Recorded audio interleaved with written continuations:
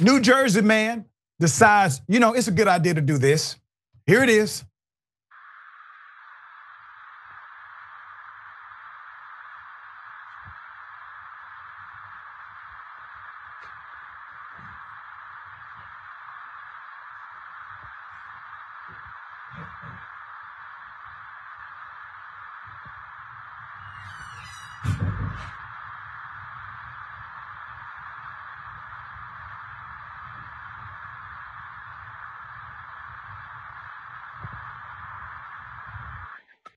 For a moment, for a brief moment, I said they're taking him to the back outside of the camera. But no, they were just taking him to the hallway to effect an arrest. Put up the picture for a mass. After he crashed into the precinct, he immediately gets out of the car. I want you to pay attention to his fingers. He has his fingers in the air as to say, number one. Now, there's an interesting background to this. New Jersey authorities say a man actually drove into a house, then a police station. He emerged, pumping his hands in the air while playing Welcome to the Jungle. All right? That's how we came in. The New Jersey man, his name is John Hargreaves. John is currently in custody facing mm, 10 charges. While blasting Guns N' Roses, Welcome to the Jungle, the 34 year old man exited his vehicle. His vehicle into the police squad room with his hands in the air, uh, as if to say, I am victorious. The man narrowly missed hitting an officer who had just stepped out of the room. He could have hit an officer and killed an officer. The officers did not seem upset about this. They did not, as they would say, tune him up.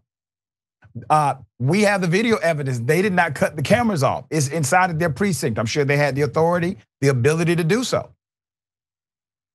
Uh, so before John drove into the Independence Township Police uh, headquarters, he first crashed into the garage door of a private residence in an attempt to scare or harass the homeowner whom John knew, according to the prosecutor's press release.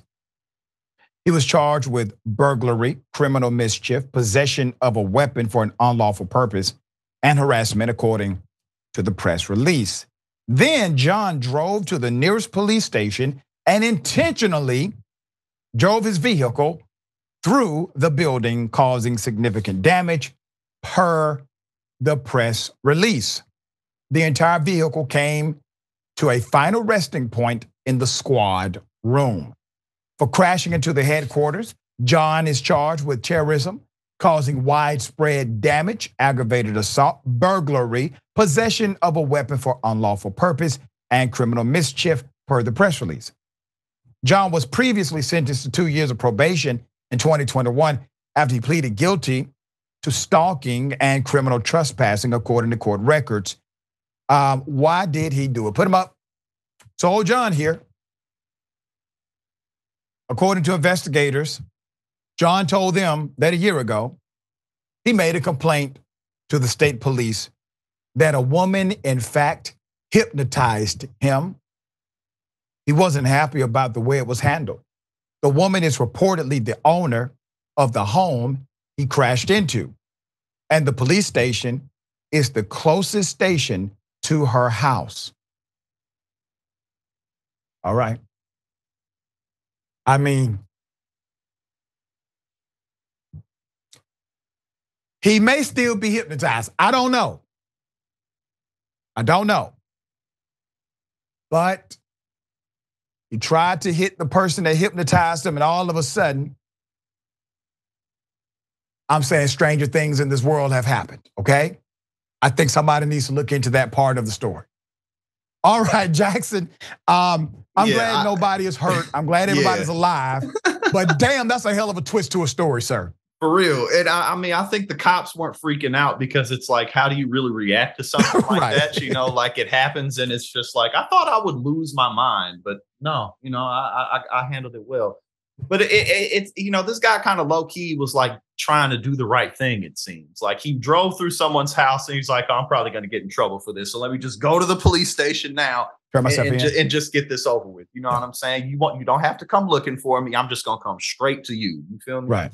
So he was uh, probably thinking, you know, look at look at all the money I saved in man hours, right. trying to apprehend me later.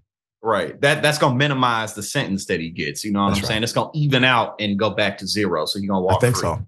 I think that's gonna be the defense here. Yep.